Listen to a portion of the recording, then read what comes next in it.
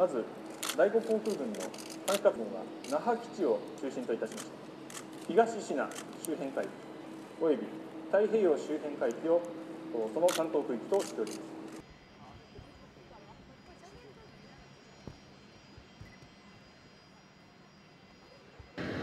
内閣総理大臣に対し敬礼。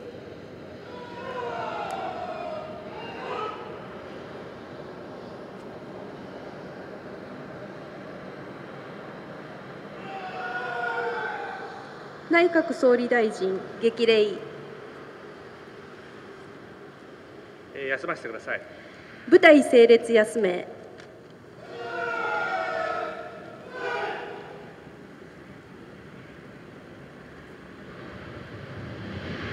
軍事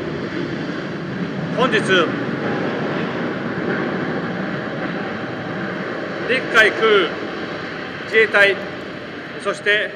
沖縄防衛局や沖縄地方協力本部において国民の生命財産我が国の領土領海領空を守る最前線で日々任務に精励されている諸君を直接激励することができ大変嬉しく思います。今我が国を取り巻く安全保障環境は一層厳しさを増しており我が国固有の領土領海領空や主権に対する挑発が続いています。このような中諸君におかれては日々緊張感を持って多様な任務に取り組んでいることと思います。地元の皆様の安心安全を担うべく離島防衛や救艦輸送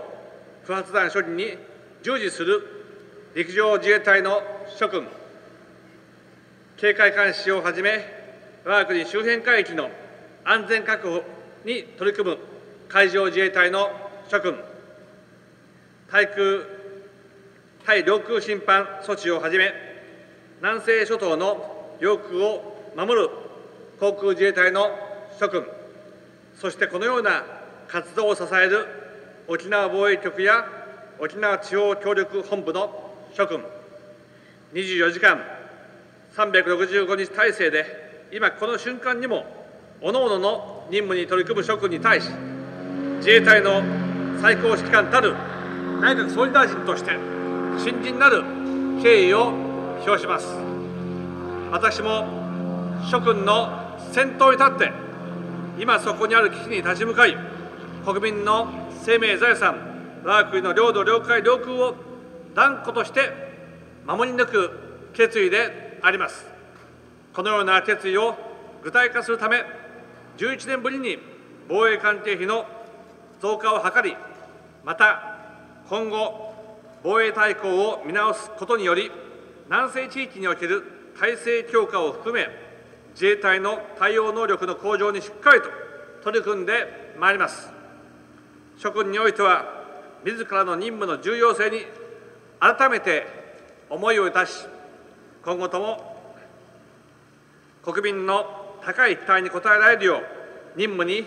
邁進されることを切に望み私の激励の言葉といたします。平成25年2月2日内閣総理大臣安倍晋三。部隊気をつけ